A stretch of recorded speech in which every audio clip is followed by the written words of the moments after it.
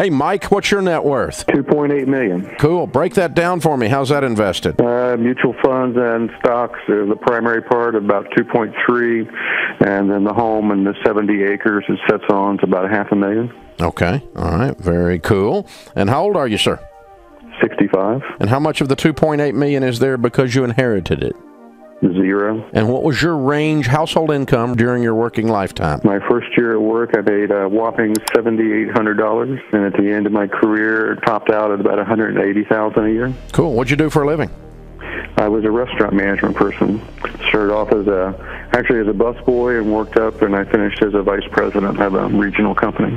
Gotcha. You got a four-year degree? No, I actually just had a two-year technical degree, Okay. In what? business management.